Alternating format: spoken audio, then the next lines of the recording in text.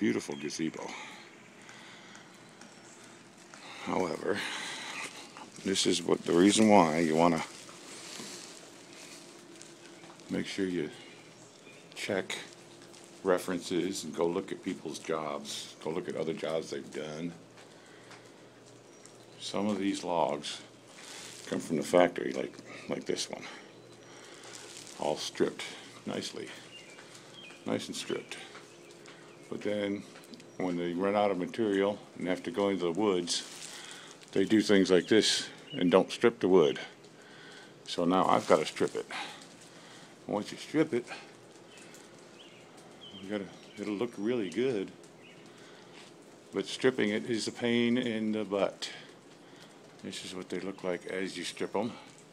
It's a messy job.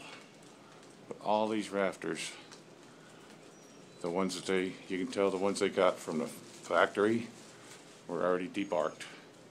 Like that one, it just needs to be cleaned up a little bit. And that one. But these guys used from the woods. That one will look a lot better, it's just got a lot of splatter on it. You talk about making a mess. Pressure washer is the easiest way I've found to do it. And that's the mess that comes off of it. But, live and learn. It's gonna look beautiful when I'm done. But until then, it looks like this. And that.